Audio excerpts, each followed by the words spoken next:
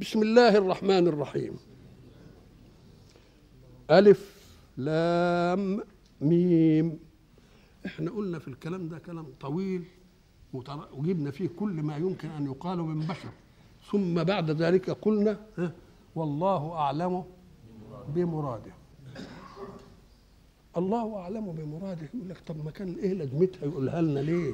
مثلا نقول له إحنا هنتكلم وياكم كلام بالعقل أهو. القرآن نزل بأسلوب عربي.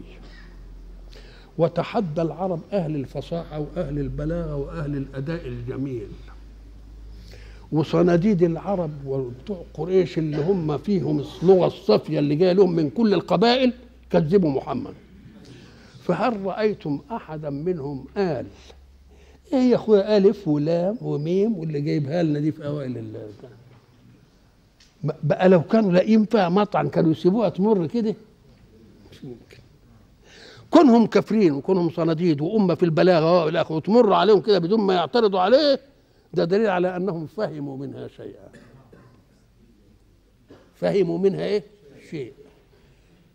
وفهموه على أساس ما عندهم. قال لك يا أخي ما إحنا اللغة عندنا بيبقى فيها حروف التنبيه كتيرة إيه معنى ألا هبي بصحنك فاصبحين طب ما هو الشاعر يقول هبي بصحنك فاصبحين إيه كلمة الا دي وتقول لك الا أداة تنبيه قال لك إيوه.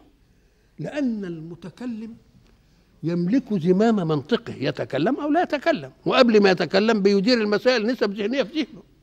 لكن السامع قد يفاجأ ولا ما يفاجأش؟ آه. يبقى المتكلم يملك زمام المبادرة. وقبل ما يتكلم هيعود يتكلم مع إيه؟ ويقول إيه؟ ويعد نفسه. إنما السامع قد يبغت ويفاجأ. يبغت على ما يتنبه يكون فات منك كم كلمة كنت عايزه يسمعها. فبدال ما يفوت منه الكلام اللي انت عايز تقوله له تخليه يفوت في كلمة نسميها تنبيه له أن يستيقظ. يعني أنا هتكلم خد بالك. ألا نقول ألا كده. خليها حروف تنبيه. لكن قلنا أن الحق سبحانه وتعالى سبق أن قلنا أن القرآن كله مبني على الوصل. معنى الوصل إيه؟ يعني ما فيش آية تلتقيها منهية بالوقف. بل منهية بالتشكيل الإعرابي على أن الأخرى موصولة بها. ولذلك تقول إيه مثلا؟ أعوذ بالله من الشيطان الرجيم. ومن دونهما جنتان. مش كده؟ لو كانت المسألة على الوقف كان يقول ومن دونهما جنتان. مش كده؟ وبعدين يقول مدهامتان. ما هي آية. فيهما عينان نضاختان. لا ما قالش كده. قال ومن دونهما جنتان. وجاب النون مكسورة. ومن دونهما جنتان مدهامتان. مش كده؟ فبأي آلاء ربكما تكذبان؟ ما قالش تكذبان. فيهما عينان نضاختان فبأي آلاء ربكما تكذبان؟ فيهما فاكهة ونخل ورمان فبأي آلاء؟ الله ما فيش واقف معناها آية ختام آية. يبقى إيه؟ القرآن مبني في آياته على الإيه؟ على الوصل هذه واحدة. وفي صوره أيضا مبني على الوصل يعني ما يجيش في آخر السورة مع إنها آخر السوره بقى ولها ادي إحنا. اهو ولا يستخفنك الذين لا يوقنون. هي كده ولا ولا يستخفنك الذين لا يوقنون؟ بسم الله الرحمن. الله. يبقى موصولة ما فيش وقف. خلاص كده. طب دي آخر. لا آخر الآية منفصلة مو بوقت. ولا آخر السورة منفصلة بل موصولة. هات آخر القرآن كله. أعوذ بالله من الشيطان الرجيم. بسم الله الرحمن الرحيم. قل أعوذ برب الناس ملك الناس إله الناس من شر الوسواس الخناس الذي يوسوس في صدور الناس من الجنة والناس ولا والناس. ليه؟ لأنها موصولة ببسم الله الرحمن الرحيم. الحمد لله رب العالمين. فكأن الله يريد منك أن لا تفصل آية من القرآن عن آية بل كله موصول ببعضه. نهايته في الناس هي بدايته. ولذلك يقول لك ما هو الحال المرتحل؟ اللي بيقرأ القرآن. هو حال في آخر آية إنما مرتحل إلى الآية بتاعنا ولا ما يقفش؟ الحل الإيه؟ المرتحل. هنا بقى نجد القرآن اللي مبني على الوصل في كلماته. وفي آياته وفي سوره وفي ختامه وبدايته مبني على الوصل. هات بقى الآية هنا. ألف لازم تنطقها كده بالواقف لو كان على طريقة الوصل كنت تقول إيه؟ ألف لام ميم. لكن قلت إيه؟ ألف لام ميم. الله شو يعني دي خلفة ال الطريقة في القرآن. قال لك ليدلك على أن الألف دي شيء مستقل لا حرف كما تفهمه وله معنى يؤديه. ولذلك خالف نسق القرآن في الوقت. قال لك هو اقف هنا ولذلك يفسر لنا قول الرسول صلى الله عليه وسلم من قرأ كذا يبقى له بكل حرف كذا كذا. ألف لام. لا أقول ألف لام ميم حرف. ولكن ألف حرف. ولام حرف. وميم حرف. نعم.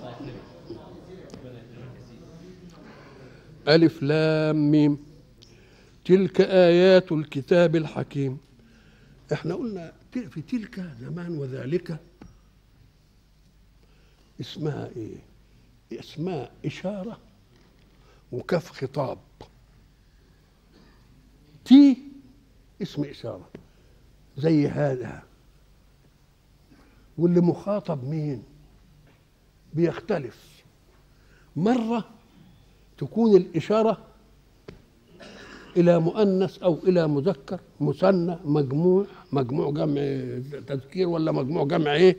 تأنيث. لما بتكون بتشير إلى رجل تقول إيه؟ هذا سأل عنك بالأمس. مش كده؟ وإذا كانت امرأة هذه سألت عنك بالأمس. هذان سأل عنك بالأمس مرأتين هاتان سأل عنك بالأمس جماعة هؤلاء سألوا عنك بالأمس مش كده؟ وهؤلاء سألنا عنك بالأمس يبقى هؤلاء للذكور والمين؟ وللإناث يبقى ده اسمه اسمه إيه؟ اسم إشارة. بعدين بتخاطب مين بالعبارة؟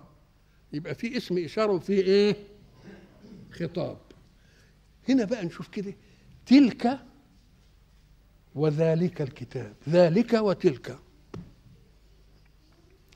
ذلك أشار إلى الكتاب وهو إيه؟ مذكر واحد. يبقى ذا تنفع له ولا لأ؟ ها؟ طب بيخاطب مين؟ إن خاطب واحدا يقول ذلك. فيخاطب النبي يقول إيه ذلك الكتاب؟ طب إن كان بيشير إلى أنثى أو مؤنثة زي الآيات. نقول تلك تي تي. إنما بيخاطب مين؟ برضه بيخاطب سيدنا. يجيب الكاف. طب افرض إن هو بيخاطب لكن بيخاطب أنثى. يخاطب أنثى. يقول لها إيه؟ تلك؟ تلك. يخاطب اثنين. تلكما. يخاطب جماعة. تلكم. يخاطب جماعة إناث. تلكن. الله. يبقى اذا الإشارة شيء والخطاب شيء آخر. الإشارة إما لمذكر لمؤنث لمذكرين اثنين لمؤنثين اثنين لجماعة ذكور أو إناث. والخطاب إما برضه لواحد أو لواحدة أو لاثنين ذكور أو لاثنين إيه إناث أو لجماعة ذكور أو لجماعة إيه إناث. اضرب الحكاية دي تطلع صور الخطاب كام؟ الناس بتفهم إن تلك كلها إشارة لا. ولذلك هناك يقول إيه لما تيجي امرأة العزيز تشير إلى يوسف وقد جمعت النسوة اللي, لموها وقال نسوة إيه في المدينة امرأة العزيز تراود فتاها عن نفسه قامت عملت لهم كده وجابتهم وادتهم البتاع اللي قطعوه التفاح ومش عارف إيه ودخلت مين؟ دخلت يوسف ادخل عليهن فلما رأينه قال لك ده الكلام اللي قالوه عنه مش مش مش هو هو ده أحلى من اللي قلناه ده ده مش بشر ده ده ملك. قامت ثم لما قالوا ده ملك قالت فذلكن الذي لمتنني فيه. تبقى ذا إشارة لمين؟ ليوسف. وكنا لمين؟ للمخاطبات. وهناك اللي يقول لما قال فذانك برهانان من ربك. اليد والعصا. اتنين ذاني ادي جابها اتنين اهو. انما بيخاطب مين؟ بيخاطب فرعون. قال فذانك. آه.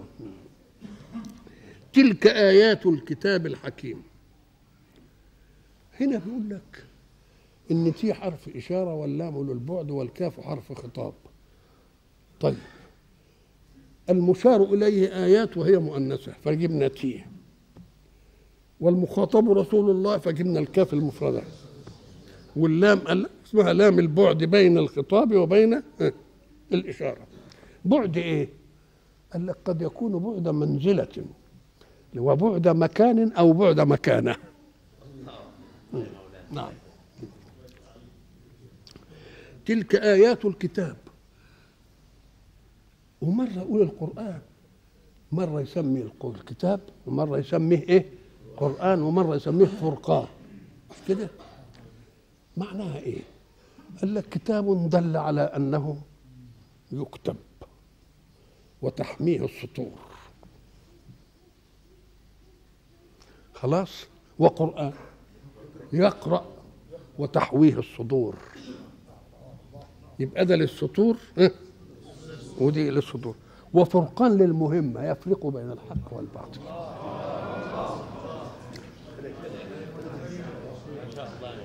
هات بقى. آيات الكتاب. في أول سورة البقرة قال إيه؟ ذلك الإيه؟ الكتاب لا ريب ذلك الكتاب. إنما هل الإيه قال, هنا إيه؟ تلك آيات الكتاب ووصفه بالإيه؟ بالحكمة الحكيم. مش كده ولا؟ آه. تلك آيات الكتاب. هناك ما ما قالش كده. تلك آيات الإيه؟ ذلك الكتاب. لا بس قال لا ريب فيه. يبقى ادي جاب من ناحية ناحية كمال. وناحية تانية من ناحية الكمال. يجيب في الايه دي كمال من جهة وهنا كمال من جهة. فيقول إيه ذلك الكتاب؟ لا ريب فيه. وإيه ذلك الكتاب؟ هي الحكيم. الله. يبقى جاب له نواحيتين كمال. كل واحدة تاخد إيه؟ ولذلك ما تقولش ده تكرير. دي لقطات مختلفة لإيه؟ لشيء واحد متعدد الملكات في الكمال. هناك إيه؟ تلك آه ذلك الكتاب لا ريب فيه الهدى للمتقين. هنا بيقول هدى ورحمة. جاب لقطة ثانية هدى ورحمة. لمين؟ للمحسنين. ودي كان للمؤمنين. الله. إيه إيه الفرق بين؟ قال لك الإيمان مطلوب الافتراض فرض. يبقى الإيمان يؤديه. إنما مطلوب الإحسان شيء آخر. مطلوب الإحسان أحسنت في كيفه أم أحسنت في كمه؟ إيه أحسنت في كمه وأحسنت في كيفه؟ أحسنت في كيفه بأن تستصحب مع العمل الإخلاص للمعمول له وهو الحق. أن تحسن في كمه دي كيف كيفه؟ تحسن في كم في كمه إزاي؟ قال لك إن عجبك التكليف وربنا قال لك صلي خمسة يبقى خليهم ستة ولا سبعة وبتاع. يبقى ده إحسان في الإيه؟ في الكم. وإحسان في الكيف علشان الإخلاص. ولذلك لما سئل رسول الله صلى الله عليه وسلم من جبريل الإسلام والإيمان والإحسان قال أن تعبد الله كأنك تراه. فإن لم تكن تراه فعلى الأقل هو يراك. وهات بقى لما تكون واحد بتعمل له شغله وقاعد عينيك عليه كده. وإلى لقاء آخر إن شاء الله.